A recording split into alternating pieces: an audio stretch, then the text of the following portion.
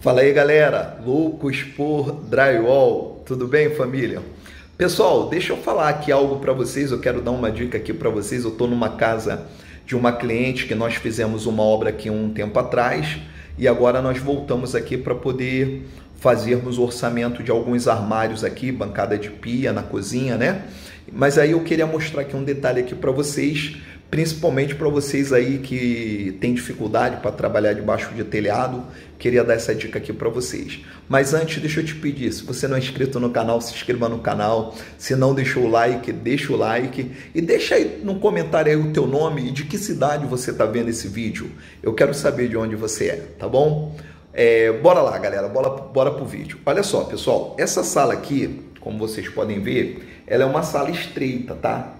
Ela tem 2,20 metros e 20 de largura por mais ou menos uns 4,50 de comprimento, tá?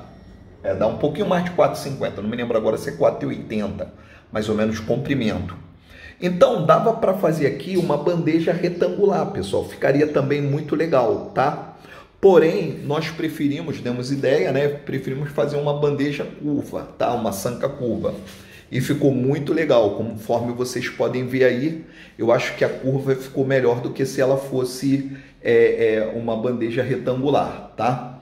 Então essa é a primeira dica. Quando você trabalhar, for, é, o cliente quiser fazer curva, essas coisas assim, os locais retangulares, os ambientes né, retangulares, eles são legal para poder fazer curva e é algo que também ajuda a disfarçar né, o tamanho do local, já que ele não é uma linha reta, né? Ele é curvado, então fica bem bacana, tá? Isso é bem legal mesmo. Outro problema também que tinha na sala aqui é que ela não é totalmente esquadrejada. Então, fazer linha reta aqui também tinha esse problema, tá? Outra, outra coisa, pessoal, vocês podem ver, ó, uma sanca aberta debaixo do telhado. E não tem problema nenhum, pessoal, fazer isso. Por quê? Porque as pessoas às vezes olham o forro debaixo do telhado e botam um bicho de sete cabeças. E não precisa disso. Basta você fazer o seguinte: faz uma estrutura, faz a parte mais alta, faz a parte mais alta, fez a estrutura, fez a parte mais alta, depois você desce para o segundo nível, para o nível mais baixo, tá?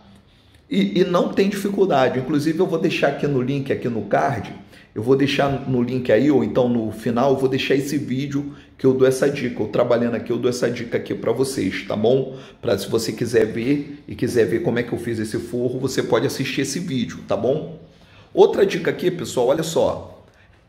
Esse, esse, esse nicho aqui e, e essa parte aqui de cima, né? É uma coisa bem comum, né? De ser feita porque acaba criando essa divisão aqui na cozinha tal, fica bem legal. O diferencial aqui que eu quero te mostrar, pessoal, que nós fizemos essa parede aqui lateral, né, conforme vocês podem ver aí, nós fizemos ela mais fina, tanto de um lado quanto do outro, e aqui nós fizemos mais grossa. Por quê? Para podermos, pessoal, colocar esse, esses spots aqui, conforme vocês estão vendo aqui, tem os spots, né?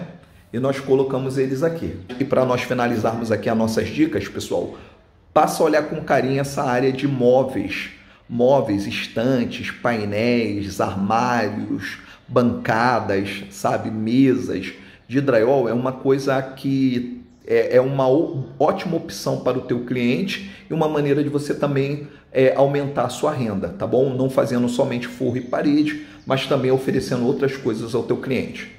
Tá legal? Então, se você não é inscrito no canal, se inscreva, deixa seu comentário, diga aí para mim teu nome, diga aí para mim o que você achou dessa obra, de onde você está falando, e eu vou gostar muito de ver teu comentário e vou te responder com certeza.